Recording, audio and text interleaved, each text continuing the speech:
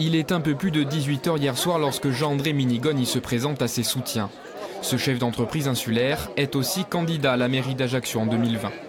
Entrepreneurs, politiques, syndicalistes de tous bords, au total plus de 300 personnes sont alors réunies devant la concession automobile lui appartenant. On ne peut pas faire croire que tout le monde est ensemble ici dans cette terre. Il y a des gens qui ont des logiques cyniques, des logiques de prédation. Et ce n'est pas la majorité des Corses qui l'ont.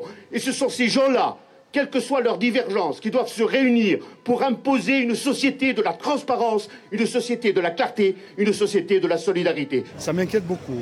Et nous, au collectif d'Ava, aujourd'hui, on est en train de réfléchir pour créer une structure pour plus laisser justement les gens qui sont touchés par ces actes euh, seuls et qui puissent se tourner vers des gens qui, les soutiendront et les écouteront.